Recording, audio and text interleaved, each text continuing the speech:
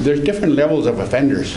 And we know that uh, they talked about warrants and they talked about the, the, the priorities. Well, for me, Myles should have been high on our list of priorities because of his record and because of his past. And he had a lot of violent commi- uh, offenses on his record. So why wasn't he, they do a lot more in looking for him? I don't know, the recommendations I'm looking for is, is maybe put a little more effort into finding these violent offenders.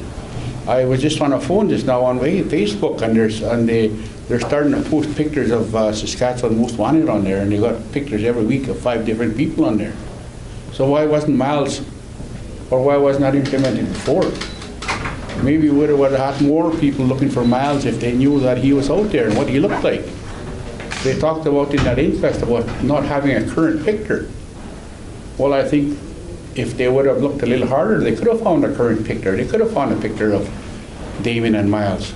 You know, I don't know if enough was done. The justice system has never, ever been kind to us Native people. So do we have faith in this justice system? Do we have faith in this? I don't think we do. I don't think we do at all. Because history, to us, has been very unjust. Nobody wants to answer my questions, you know, they're not being answered properly. It- it- It's like they're um, passing the buck. Yeah. Well, um, let somebody else answer that at a later date, and that don't sit too well with me right now.